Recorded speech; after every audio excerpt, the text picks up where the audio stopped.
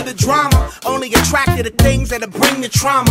Overseas, yeah, we trying to stop terrorism, but we still got terrorists here living in the USA, the big CIA, the Bloods and the Crips and the KKK. But if you only have love for your own race, then you only leave space to discriminate, and to discriminate only generates hate. And when you hate, then you're bound to get irate. Yeah, madness is what you demonstrate, and that's exactly how anger works and operates. Man, you gotta have love just to set it straight. Take control of your mind and meditate. Let your soul gravitate to the love, y'all, y'all. People killing, people dying, children hurt, and you hear them crying. Can you practice what you preach and what you turn the other cheek?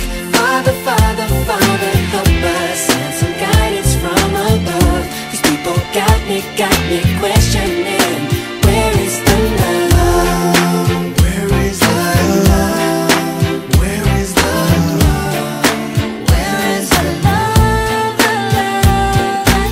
just ain't the same, always in change. New days are strange, is the world insane?